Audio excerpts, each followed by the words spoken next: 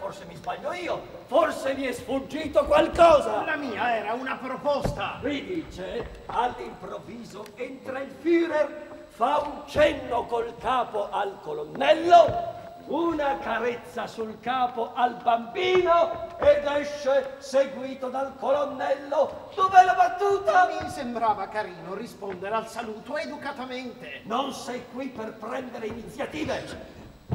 Io sono un attore, pretendo rispetto per il mio lavoro. Anche l'autore ha diritto al rispetto. Questo è un dramma serio, non una burletta. E guarda come ti sei truccato con quei baffetti. Istvan, chiamatemi il truccatore. Cosa pensi di fare, Charlot? Non assomigli per niente a Hitler. Ma gli rassomiglio più io del suo ritratto. Io ho un grande talento per il trucco. Forse è l'unico che hai. Vogliamo andare avanti, per favore? Perché stai perdendo l'ispirazione? Il mio trucco è perfetto e te lo dimostrerò. Adesso esco e vedremo se la gente non mi scambierà davvero per il Führer. Ma cosa fai? Ecco Bronski, che è successo? Addirittura i fiori. Cos'è? Un omaggio al Führer? Non sono per me. Ma c'erano cascati tutti! Dovevate vedere che cancan, che corri corri, che fuggi fuggi! La gente che faceva... Ah! Non credevano ai loro occhi. Si ammassavano l'uno sull'altro e dicevano ma che ci fa Hitler a Varsavia? E poi... Una bambina, la figlia della fioraia, viene avanti piccola piccola e dice, ma bello forte, eh? Signor Bromsky, me lo fai un autografo? Eh, perché siamo amici di famiglia e altrimenti, e appena la madre del mostriciattolo mi ha riconosciuto, mi è toccato pure di fare il fattorino. Meglio che in bianchino. e Hitler, eh, fattorino, in bianchino, eh, non ride nessuno. Ah, bravo, grazie caro. Questi grazie. sono per la signoratura e c'è pure un biglietto. Per me, che gentili! Signori nei cameri rinde. È ancora caldo. Un po' di tè. Zucchero niente purtroppo. Perché te ne devi privare? Allo scalo ferroviario c'è la mensa. Bevi, riscaldati un po'. Dai qua, lo porto io. Se viene un controllo, Faremo finta di litigare come l'altro giorno. Questo sporco ebreo mi ha urtato con il suo sacco merdoso. Eh, che te ne passa? Sono stato bravo. molto convincente. Però cerca di picchiare un po' più piano la prossima volta. Scusami, è che quando recito mi faccio prendere la mano.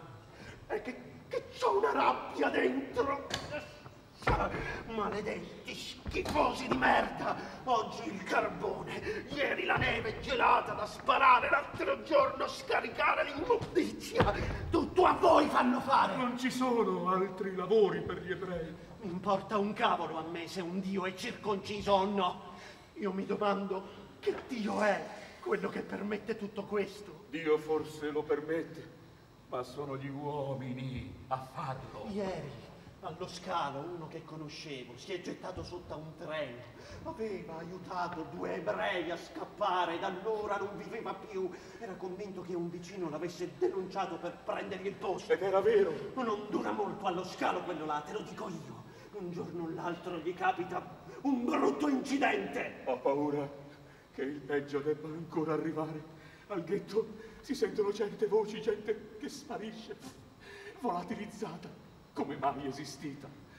Siamo già fantasmi, fantasmi che camminano con una stella gialla. Sono cose che colpiscono. Uno si mette a riflettere. Io mica lo sapevo prima che eri un ebreo. E anche adesso non capisco la differenza. Certo che Shakespeare era un genio. Ehi, Grimberg, Shylock, te lo ricordi Shylock? Come che faceva? Lascia stare, non ci voglio pensare più, mi fa male. Per me recitare è vietato. Perché noi, noi possiamo. La gente non ha più neanche gli occhi per piangere, figurati per venire a teatro. E poi l'hanno chiuso il nostro teatro con la scusa dei bombardamenti. Facciamo una cosa. Io ti porto il sacco e tu in cambio mi reciti quel pezzo, che così ti tieni pure in esercizio. perché finirà, finirà questa guerra di merda, te lo dico io, e noi riapriremo il nostro teatro.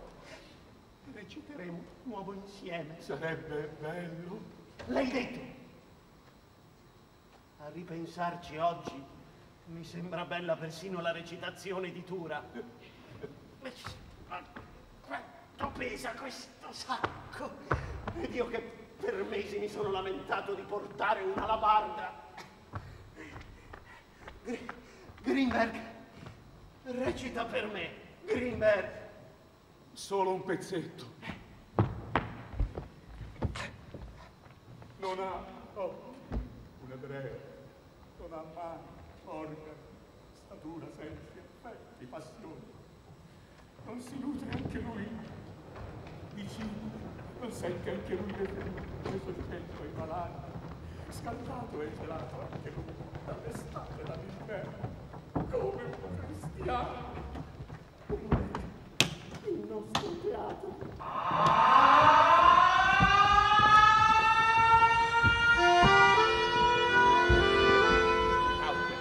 Hitler! Heil Hitler! Io sono il generale Hauer, molto lieto. Il professor Druginski, immagino. Bene, bene. Ecco l'uomo che ha saputo giocare gli inglesi in Inghilterra. Gli inglesi in Inghilterra. Un uomo da portare su un piatto d'argento. Generale, potrei conferire con lei? Sì.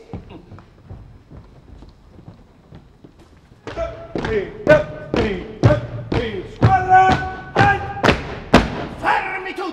Arrestate quest'uomo! Chi siete voi? Io sono il generale Auer, responsabile della sicurezza del Führer. Quest'uomo è una spia! Ma come si permette? Questo è il professor Albert Drusinski, agente della Gestapo e amico personale del Führer. Ah, sì? Sì.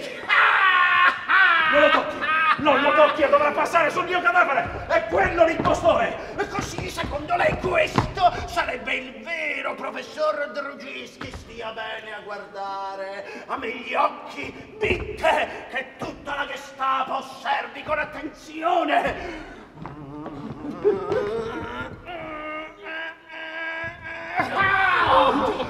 Ecco perché il Führer non si fida di nessun altro. Principianti perché non avete saputo tirargli la barba. Prego, signor generale! L'impostore deve essere consegnato al Führer! Vai, Hitler! Vai, Hitler!